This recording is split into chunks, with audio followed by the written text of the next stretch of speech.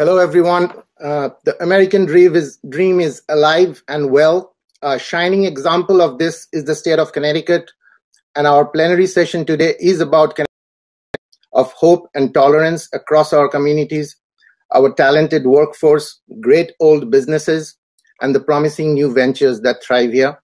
This is possible due to the great set of panelists, the political and business leaders from Connecticut that are present here today, who are the architects of policymaking and also knows that the world of business and economy are never built without compromising uh, with by not compromising on our shared values of tolerance and respect social justice diversity and fairness. I'm delighted to introduce our moderator dita bhargava who is the chief operating officer of catalan investments an emerging manager quantitative fund headquartered in stamford connecticut Dita, an electrical engineer, has over 20 years of experience in Wall Street as a hedge fund portfolio manager and a banker. Dita is an active leader in civic engagement and philanthropic efforts that help empower equity for women, promote cultural understanding, equity amongst socioeconomic classes, and also help drive public policy. In 2018, Dita ran for statewide office in Connecticut Dita has been a Connecticut resident since 2008 with her husband and two children. Dita embodies everything that is good about the USA and our state, Connecticut. Here is Dita. Thank you. Thank you so much, Avi. And, and thanks to Frank Jurgen Richter for putting this incredible forum on today. I'm Dita Bhargava, and I want to thank all our panelists and attendees for joining us this morning. It is my honor to start this session with a brief video presentation from a proud Connecticut resident, former CEO of PepsiCo, Mrs. Indra Nooyi. Avi, please commence.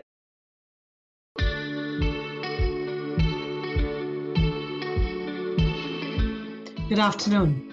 My name is Indra Nooyi, former chairman and CEO of PepsiCo.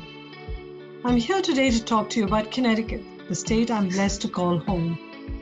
I'm one of the fortunate people of this world that can live wherever I choose, and I choose Connecticut. If you're not familiar with the state, it's the third smallest state in the US, strategically positioned between New York City and Boston, with a population of about 3.5 million people. You know, we are small, but we punch way beyond our weight. Connecticut is home to two Fortune 100 companies, 13 Fortune 500 companies and 25 Fortune 1000 companies. We are a beautiful state. We have mountains. We have a 332 mile long coastline, which makes us one of the few sea to ski states in the US. Every resident in Connecticut is within a 15 minute drive of a park. To say we have it good here would be an understatement. We also have a world class healthcare system one of the top ranked education systems in the United States, and so many other benefits that it's just hard to list them all off here. Businesses who are in Connecticut find the talent they need, and their businesses thrive here in the state. You know, successful companies pick the best location for their businesses, but transformative companies pick the best location for their people. The bottom line Connecticut is a place you should look to if you're looking to locate your business. You know, it's said that a picture says a thousand words. So I'm going to leave you with the following images to tell Connecticut's story.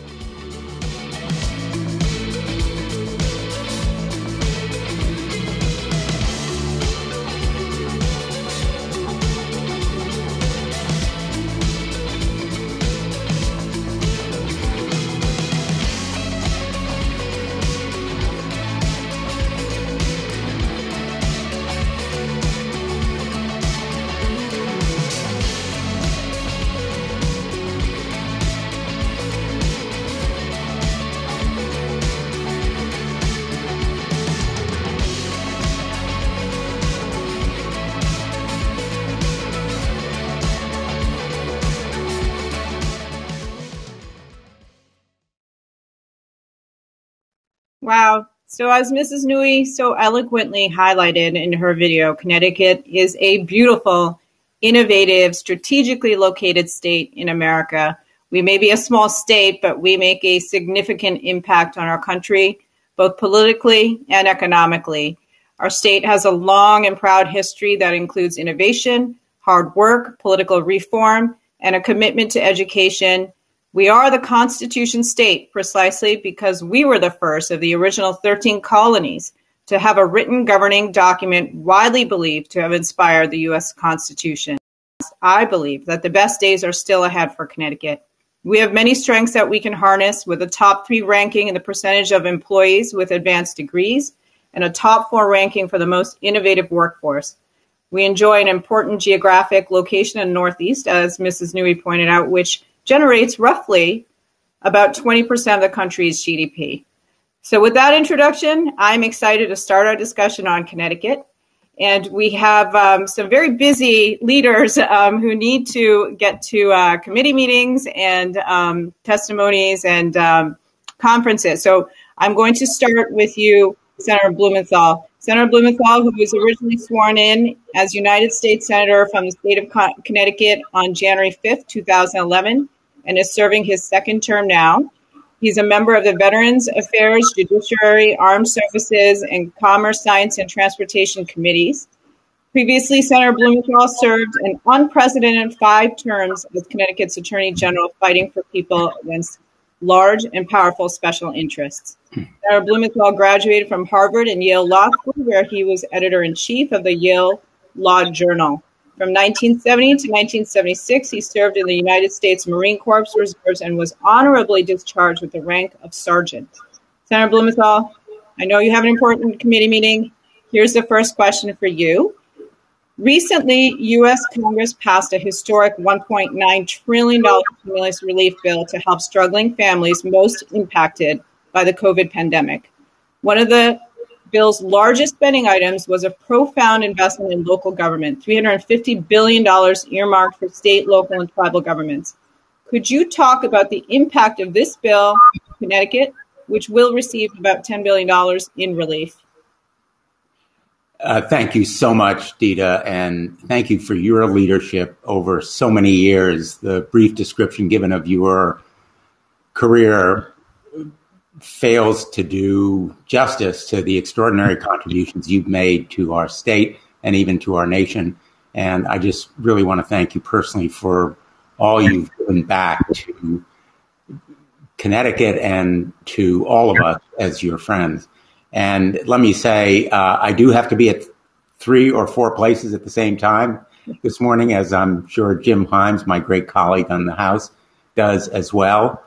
So I'm going to be brief and hopefully concise in answering your question. The answer, very simply, is this American Rescue Plan is truly historic. It's revolutionary in what it does for Connecticut and for the country.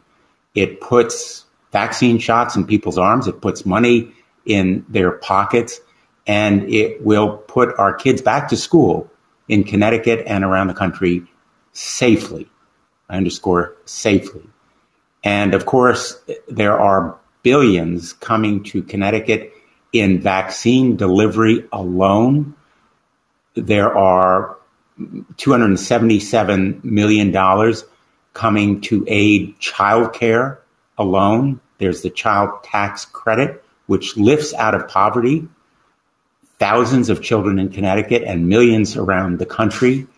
And uh, in terms of our basic workforce, it will provide more support for those men and women on the assembly lines. You saw some of them in the video making more engines for the F 35, more submarines, the Virginia class and the Columbia class submarines, and helicopters at Sikorsky, vital to our national defense. Connecticut truly is the arsenal of democracy, and we're going to need more skill training for those jobs that will be created by the contracts one of them actually is going to be announced later today. So this measure provides all kinds of support for the people and workers and families of Connecticut, but the 350 million, close to 400 million, that uh, billion, I should say, going to our towns and cities and states will be coming to Connecticut. It can be used flexibly by the towns to retain their police and fire and first responders on their payrolls to deliver that vaccine at the local level. I've visited, uh, I don't know how many vaccine clinics around the state, probably 20 to 30 in total. And many rely on our National Guard, but also on local workers. They can be reimbursed for COVID related expenses. And of course, at the state level, uh, the Connecticut legislature has moved ahead. And I want to say our governor, Ned Lamont, with the help of an extraordinary team, including Lieutenant Governor Bysiewicz. They've done great work. Uh, the Chief Operating Officer, Josh Geballe, the entire team has managed this crisis with remarkable dexterity, courage, and vision. And so this package really rewards and recognizes Connecticut's being at the forefront. First, taking shutdown measures that were necessary to stem the spread, and now reopening with caution and prudence, and at the same time delivering the vaccine on a rational, very understandable basis. We're going to go on vaccine from scarcity to abundance, literally scarcity to abundance because of the American Rescue Plan, which will enable exponentially increased manufacture and delivery of the vaccine to states like Connecticut that have forged the infrastructure. That's so important what Ned Lamont has done, forge the infrastructure necessary to deliver it. So it, it is historic. It's revolutionary. It will lift kids out of poverty. It will put them back to school. It will enable people safely to go back to restaurants and public places. It's targeted a program of aid to restaurants and other businesses, small businesses that desperately need to get over this chasm of economic crisis. And uh, I think it's especially important for our export trade because we are, after all, an exporting state, not only in the defense industry, but also in so many others where we're at the lead in tech and uh, other kinds of medical manufacture. So thanks very much for that question, Dita.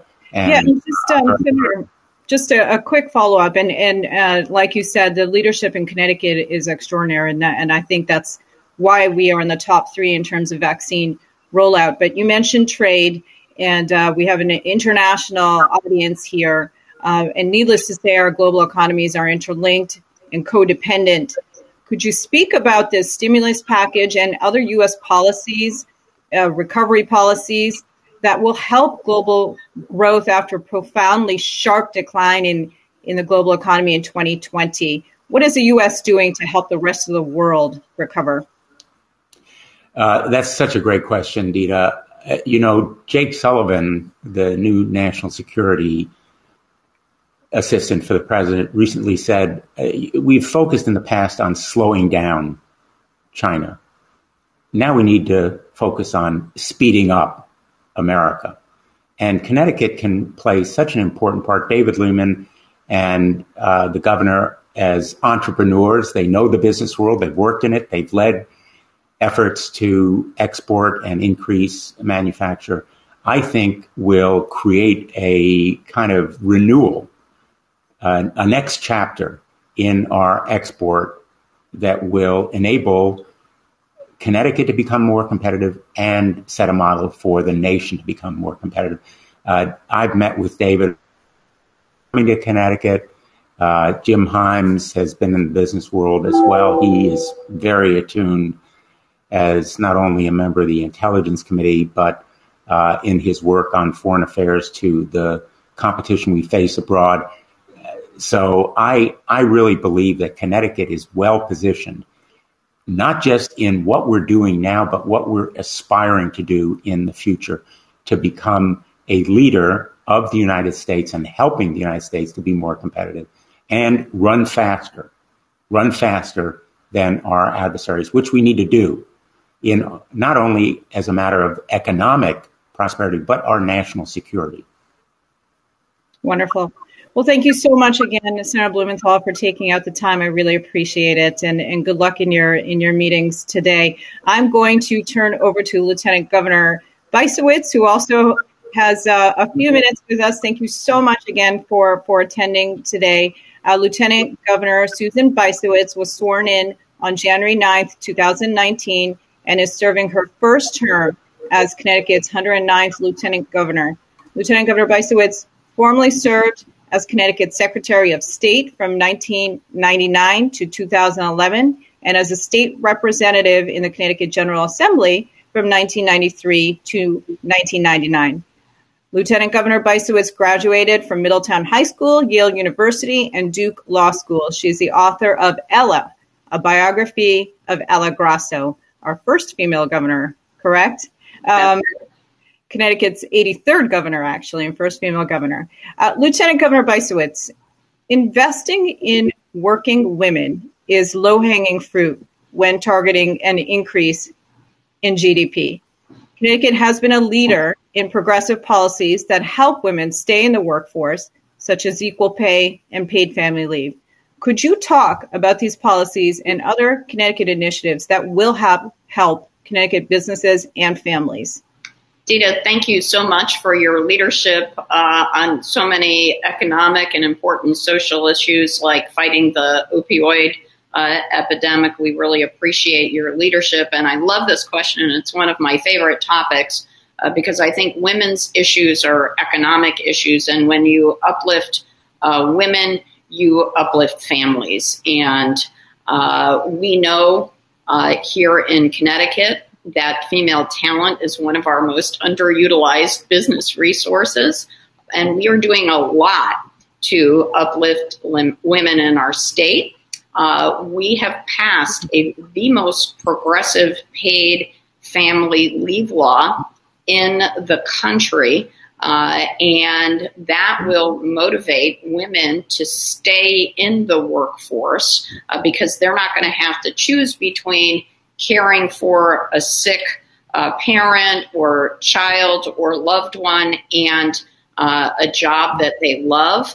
Um, this bill went into effect in January uh, of this year, and for one year, a tiny percentage of uh, a paycheck will go into a fund to provide that uh, paid leave. And we're very, very um, excited about that. Um, this program covers all employees with at least one employee in Connecticut. So it's very exciting. And this um, payroll deduction of 0.5% of a person's income uh, is starting to be withdrawn from folks' paychecks, and the program will be fully operational um, next year. And so we're so excited about what that means for the future of our state in terms of heightening workplace morale and productivity.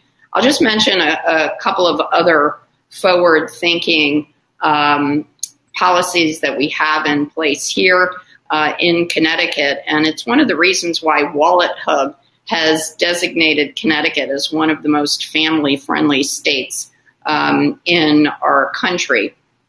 We also um, are ranked third in our country for the number of people with advanced degrees, and we have the fifth most highly educated workforce in the United States. So we're great for all kinds of businesses. We're ranked fourth in the nation in terms of productivity, and we are home to two Fortune 100 companies, 13 Fortune 500 companies, and 26 Fortune 1000 companies. We've got lots of great businesses here, and our policies on paid family leave, um, a very high uh, minimum wage, and pay equity make it really a great place to come.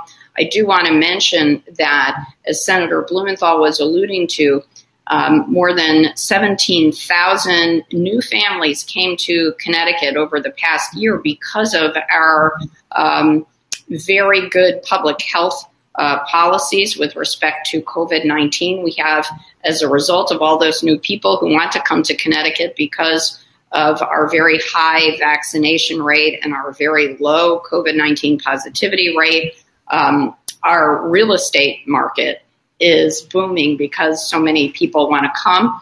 And to the companies who are wondering about our uh, budget policies, um, Governor Lamont has released his second budget which does not increase um, personal or corporate taxes, which I think sends a very positive message uh, to businesses. And also, um, there are um, no new tax increases, and our rating agencies have noted that we have um, a very high rainy day fund, one of the biggest in the Northeast and one of the biggest in the country. So we are, I think, well positioned going forward. And the governor and I and Commissioner Lehman are regularly in conversations with uh, ambassadors and council generals and business leaders from around the globe. We welcome you, and um, we are just a phone call away. So please call us. We'd love to have your business locate in our state. That's wonderful. Lieutenant Governor. And if I could just follow up, because you mentioned a whole list, and I just want to add one thing, because when I speak to friends across the world, there is certainly the perception that the prevalence of guns in the United States makes it a less safe place to live or operate business. And uh, Connecticut ranked as the fourth safest state in 2020 for personal and residential safety, and ninth overall safest state, period. So, could you speak a little bit about our gun uh, gun laws and the safety in our communities? Thank you so much for raising that, and thank you for your advocacy on gun safety uh, measures. Connecticut has among the strongest gun safety laws in the country, and it is a proven uh, fact uh, that the states with the toughest gun safety measures are the safest and have the lowest levels of gun violence. And so we remain a leader um, in our our country for passing gun safety measures. And uh, that's yet another reason we have a beautiful environment. It's a very safe place to live. And it's another reason why we welcome people from around the world. Great. Well, thank you again, Lieutenant Governor, for the great job that you're doing and uh, for taking the time out of your busy morning today. We thanks appreciate for, it. Thanks for having me. Congressman Himes, uh, I know you have a very busy morning as well. So again, thank you for being here. Uh, it's it's a busy time in Washington, as I can imagine. Uh, Congressman Himes represents Connecticut's fourth district in the United States House of Representatives, uh, serving his sixth term. He serves on both the House Permanent Select Committee on Intelligence and the House Committee on Financial Services, where he is the chairman of the National Security, International Development, and Monetary Policy Subcommittee. Born in Lima, Peru in 1966 to American parents, he spent the early years of his childhood in Peru and Colombia while his father worked for the Ford Foundation and UNICEF. Thank you. And, and also, he's a neighbor, lives in uh, Cos Cob, Connecticut. Uh, welcome, Congressman Himes. Uh, I would like to ask you about um, the newfound stability in the U.S. Uh, many would say that there is newfound stability in the U.S. after the 2020 presidential election and the start of the Biden administration. Do you agree with this assessment? What has a post Trump era meant for strengthening relationships internationally, and how will this impact our state of Connecticut? Yeah, great question, Dita, and thank you. Thanks so much for inviting me to participate with uh, with uh, my friend Susan and, and, the senator and David and others uh, to talk about Connecticut. And thank you for your friendship uh, and, and hard work in, in all of the areas that have been enumerated today. You're everywhere.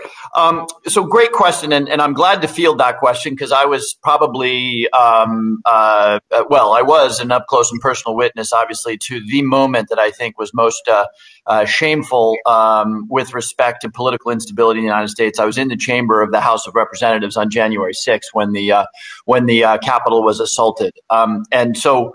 I, I, can tell you that the answer is unequivocally yes. Um, you know, uh, and and that is demonstrated by the fact that, um, and, and, I'll and I'll uh, endeavor not to be overly partisan in my explanation here, but it's demonstrated by the fact that the American people roundly rejected the ethno nationalistic, uh, right wing, um, nostalgic, if I could use a euphemistic word, uh, for a for a past that never really existed, um, a much less inclusive past than our present.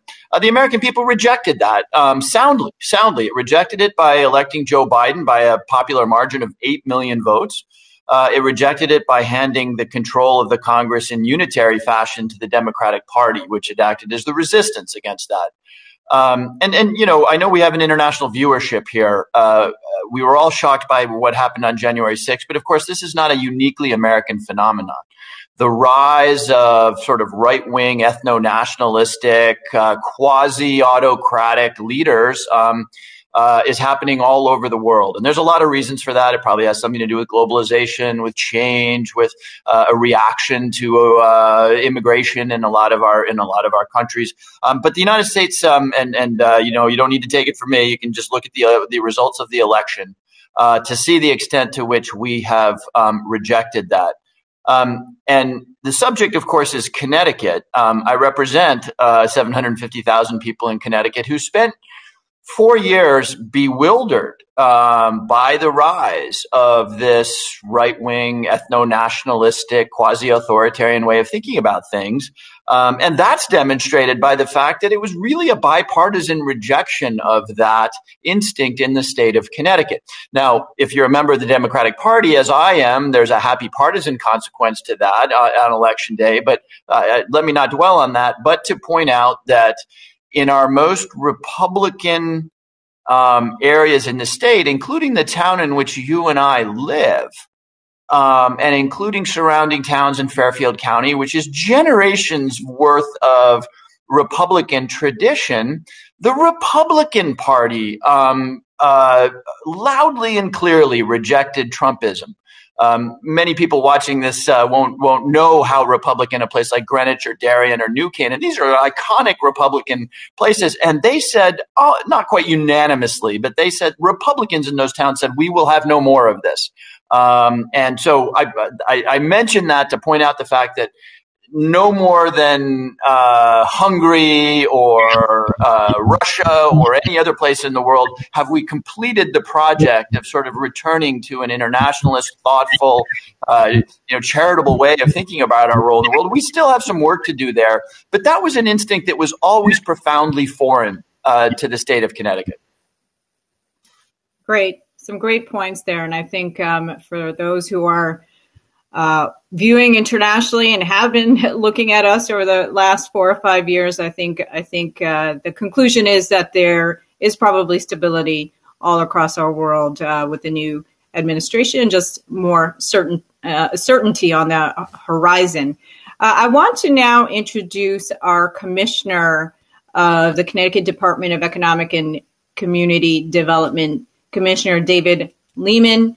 Uh, this is a state agency that oversees a wide range of programs promoting business growth in Connecticut.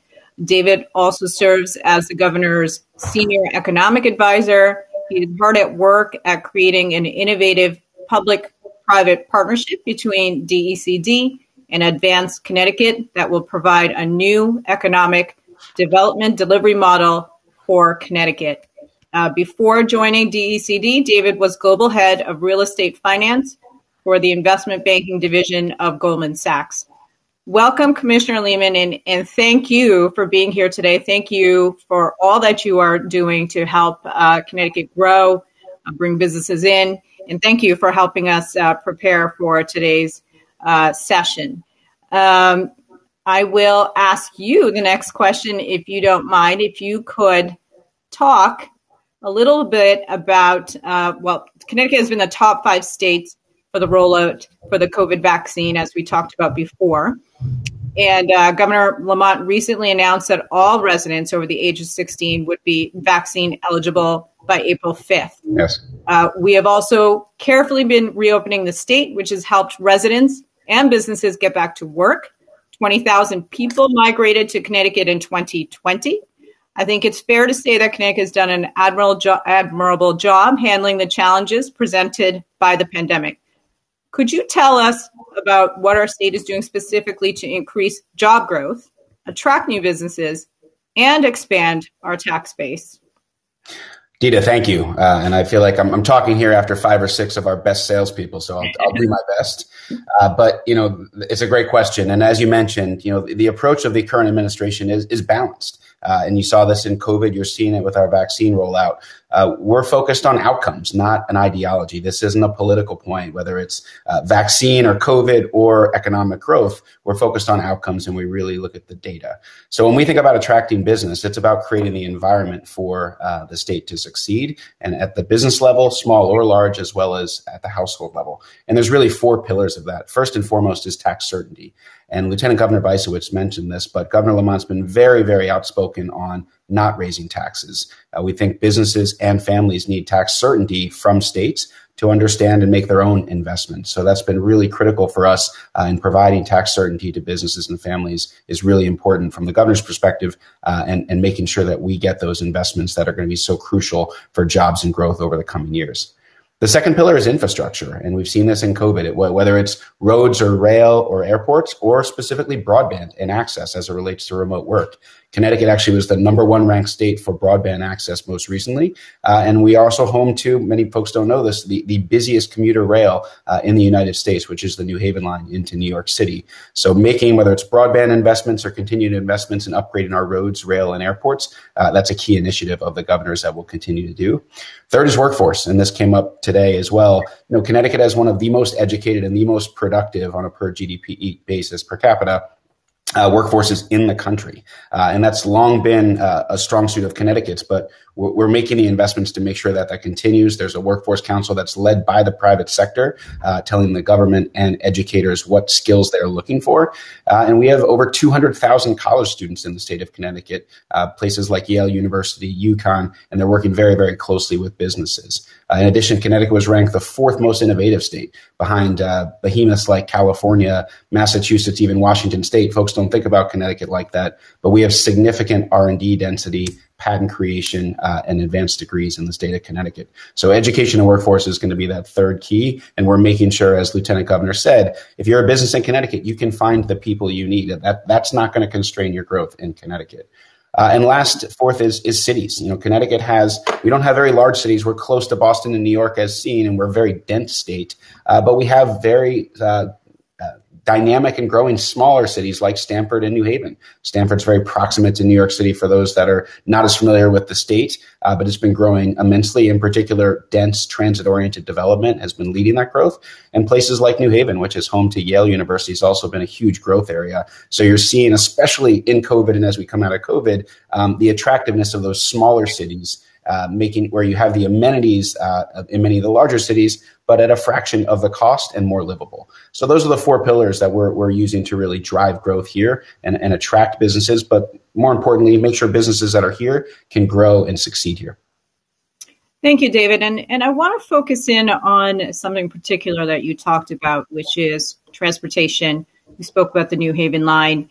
And uh, I think if you look across the country and across the world, most would agree that transportation infrastructure is a major pillar to be able to grow the economy. Uh, if you look at the city of Boston, you know they th- there's a lot of uh, residents there who don't have cars uh, because their transportation infrastructure is so great. I'm going to ask uh, Congressman Himes to talk a little bit uh, about uh, investment in infrastructure because it is a policy, Congressman, that you have supported in Congress. Former President Trump campaigned on a $1 trillion infrastructure plan which never came to fruition.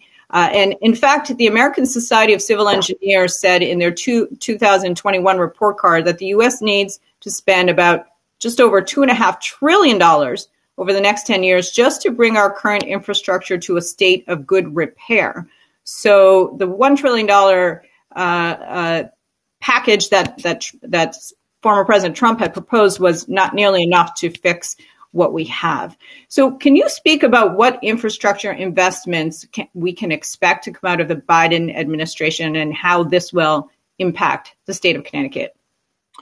Yeah, a terrific question, Dita. Really sensitive question um, for the state of Connecticut. Um, you know, it maybe hasn't been crystallized in this way, but uh, Connecticut has a lot of advantages. The, uh, in my opinion, the two top, of course, are the things that God gave us: our location, our topography. You know, my my house is uh, 45 minutes from Kennedy Airport, downtown Manhattan, not far from Boston.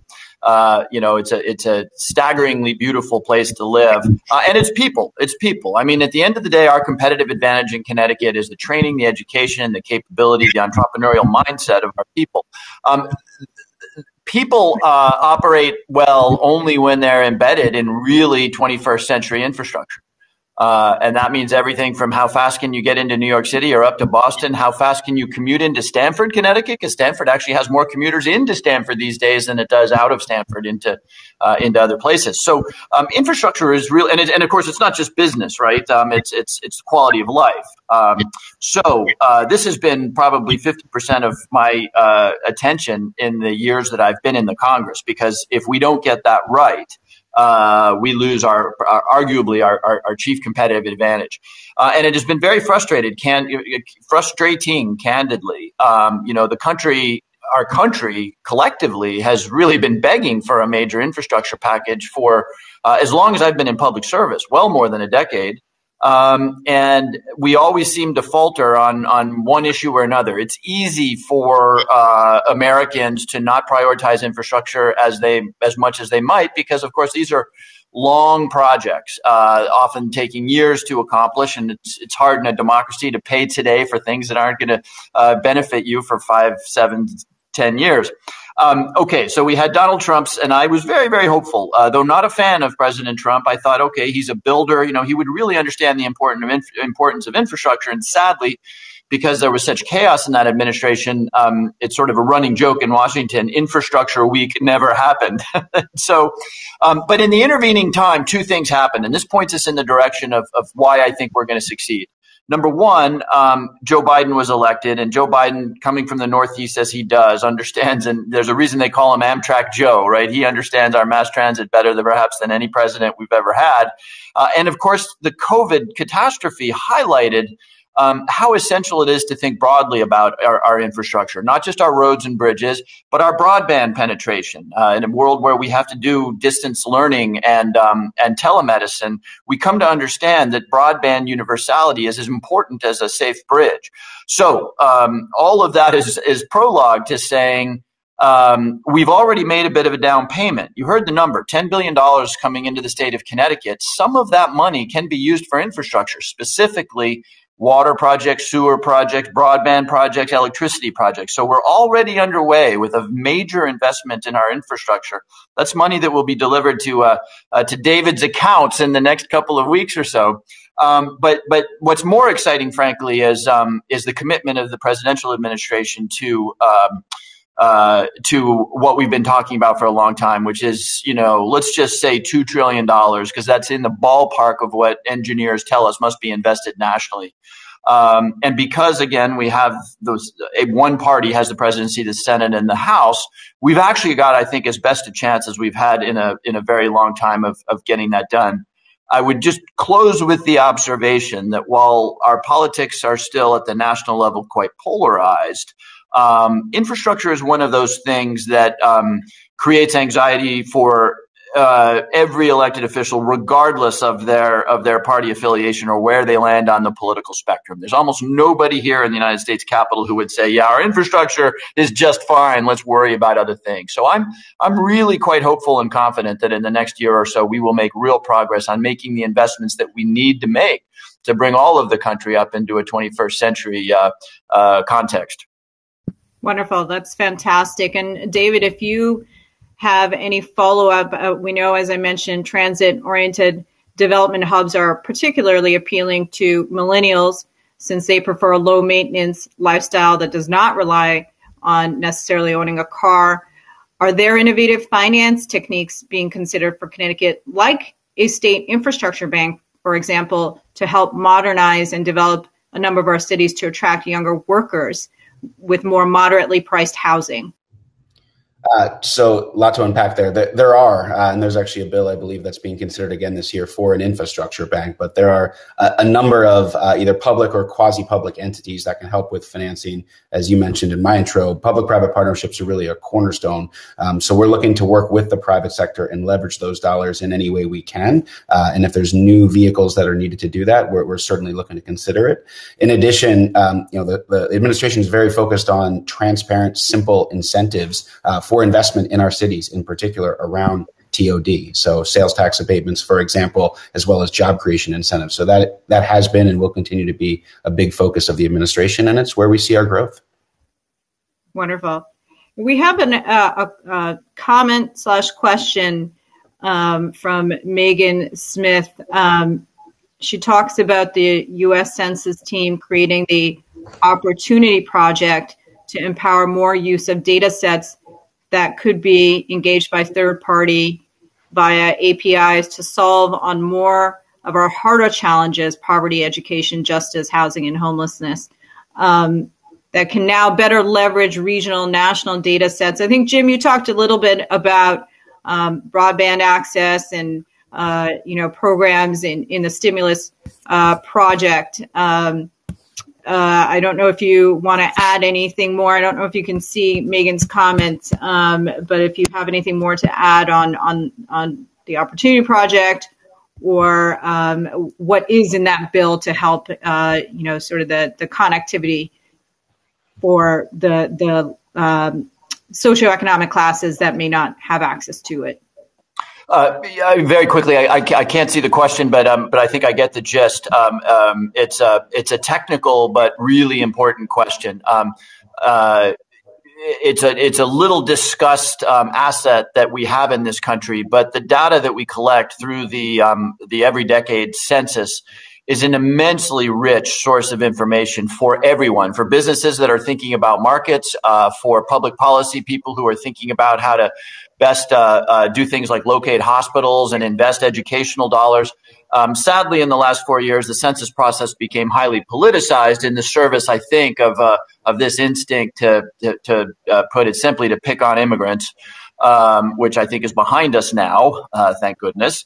Um, but uh, so we're in the process of depoliticizing the census uh, so that it remains the kind of incredible, if somewhat hidden asset that it is for all kinds of people, including, and, and maybe this was the direction the, the question was going.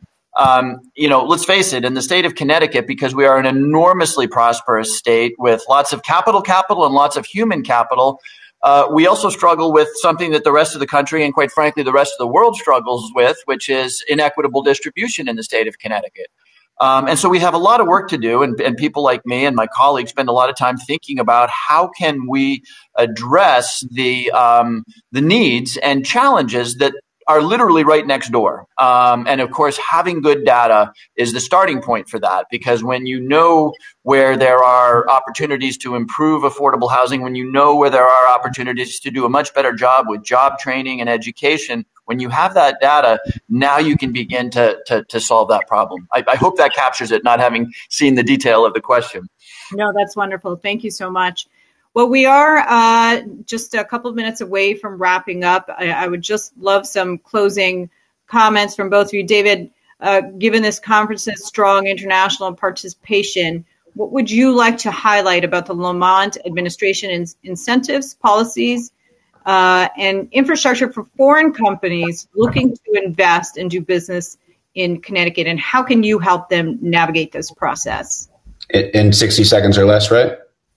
Sure, you have minutes. I'll do my best. I see we're I see we're at time here. I mean, as as uh, as was mentioned before, you know, Connecticut we're exceptionally strong, and let me just list a few.